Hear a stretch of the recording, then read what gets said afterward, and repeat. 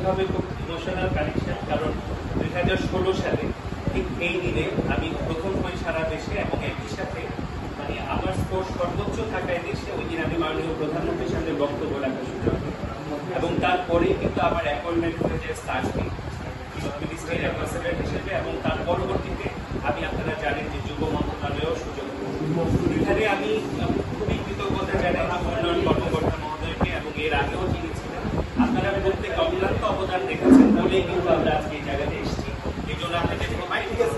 আমরা বিশেষভাবে আমার ধন্যবাদ এবং শুভেচ্ছা।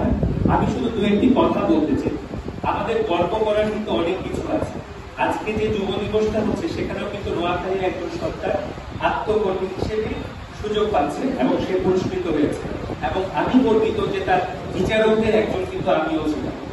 এবং সবচেয়ে মানে একটা বিষয় কিন্তু আমাদের অনেককে মনে রাখতে হবে যে শুধু আবেদন করলেই হবে না, আবেদনের সাথে প্রপার ডকুমেন্টেশনটাও কিন্তু একসাথে করতে হবে। কারণ কয়েকটা স্তরে বিচার প্রক্রিয়া হয় এবং আমরা হচ্ছি সর্বশেষ স্তর। তার আগে ডিসি সাহেব একবার দেখেন ইউনো সাহেব একবার দেখেন তারপরে অধিদপ্তর একবার দেখেন তো অধিদপ্তর দেখে যদি কেউ বাদ করে যায়, সেটা কিন্তু জাতীয় পর্যায়ের সর্বোচ্চ বিচারকদের কিছুই করার থাকে না, ফাইলটাই আমাদের কাছে আসে। তো এই জায়গাটায় বিভ্রান্তির কোনো অবকাশ নেই।